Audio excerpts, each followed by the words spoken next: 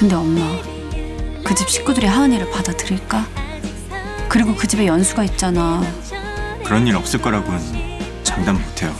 이거 한 가지는 약속할게요. 절대로 혼자 아프게 하지 않겠다고. 뭐야? 내놈 지금 제정신이야? 세상에, 쟤 정신 나간 거 아니야? 엄마는 그러길래 거길 왜 가?